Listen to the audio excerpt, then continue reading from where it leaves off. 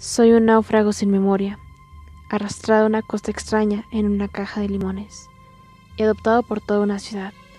Pero Violeta está equivocada. Ella estaba perdida, sí, pero a mí me encontraron. No es lo mismo en absoluto. ¿Qué pasaría si te dijera que existe una criatura mitad pez y mitad humano? Y que probablemente la conociste y lo olvidaste. Así son las leyendas, y así es como empieza este libro del que te hablaré.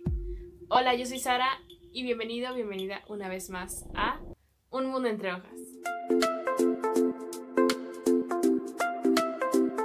¿Cómo están el día de hoy? Espero que se encuentren demasiado bien. Y hoy toca hablar de un libro en especial. Es un libro que me encantó de fantasía y que les recomiendo bastante porque estoy segura de que también les va a encantar. Es el turno de hablar de Malamandra por Thomas Taylor de la editorial Soy lo que leo Santillana.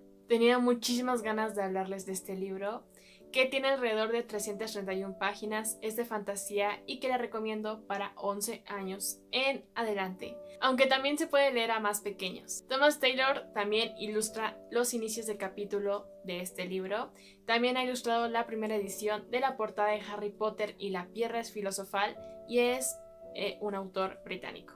Y es el primer libro de las leyendas de Puerto Encantado. Pero me dirán, ¿qué es lo que cuenta esta historia que te tiene tan emocionada? La historia se ambienta en Puerto Encantado, donde hay una leyenda de la malamandra, una criatura mitad pez y mitad humano que aterroriza a todo el pueblo aunque no todos la hayan visto.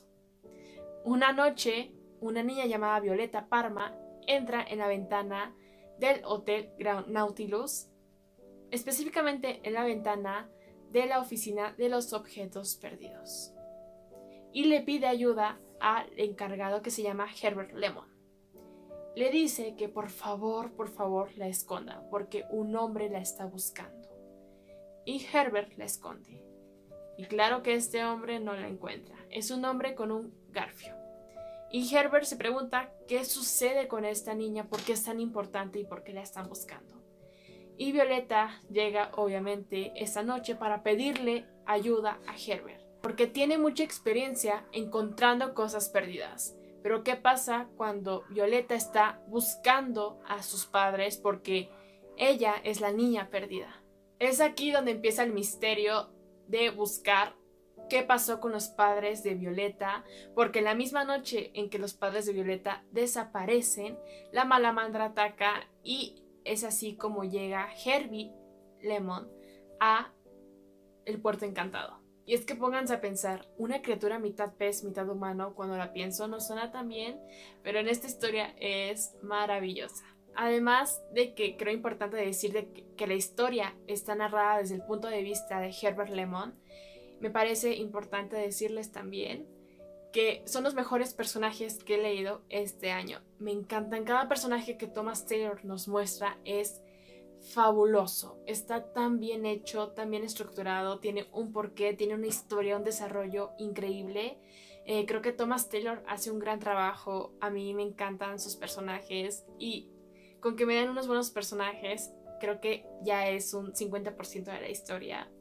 Hay personajes eh, desde un escritor, un, em, obviamente la malamandra, eh, Herbert Lemon, que es el encargado de la oficina de los objetos perdidos en el Hotel Grand Nautilus, la señora Kraken, que es la, la dueña del hotel, Violeta Parma, que es esta niña que está en busca de sus padres, también un mono eh, con sombrero que cada vez que alguien le pide una recomendación de un libro o bueno, que les ayude, este mono escribe en su máquina y automáticamente saca em, las coordenadas de dónde está el libro de tu destino. Así que eso me parece una idea bastante increíble. Me encantaría tener un mono así.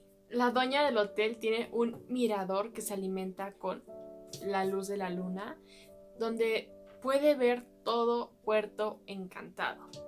También hay personajes que es la señora Fósil, que es una señora que descubre y explora eh, objetos eh, únicos.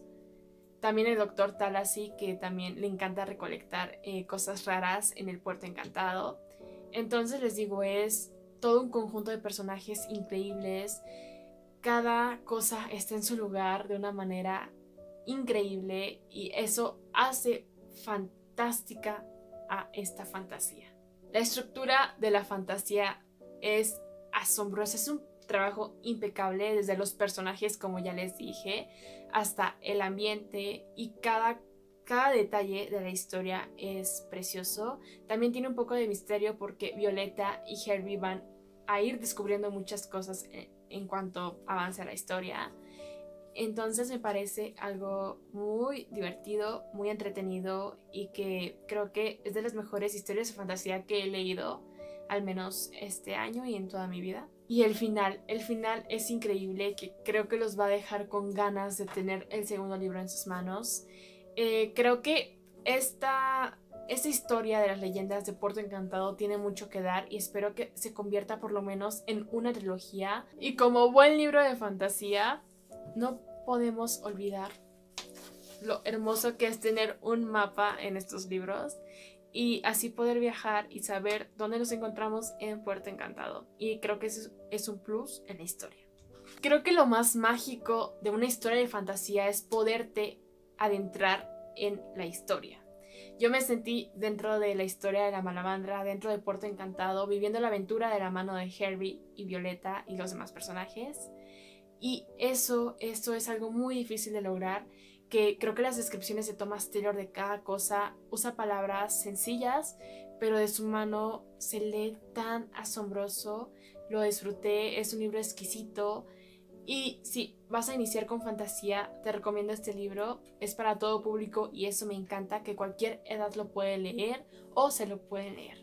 Y bueno chicos y chicos, hasta aquí llegó el video de hoy. Espero que les haya gustado bastante. Yo disfruto muchísimo de la fantasía y me encantó este libro. Es increíble, no puedo esperar a leer la segunda parte eh, cuando la traduzca. Soy lo que leo, espero que este año el próximo. Y también espero que le den una oportunidad porque vale totalmente todo el tiempo que le dediquen a este libro, que yo creo que les va a durar días Así que gracias por ver este video y nos vemos en otro video. Bye.